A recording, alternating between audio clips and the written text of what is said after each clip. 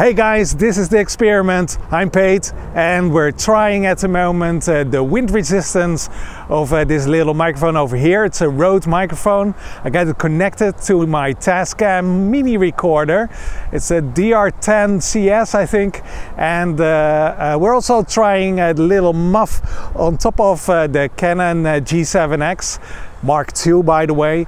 And uh, uh, that little muff uh, makes sure the wind resistant is there.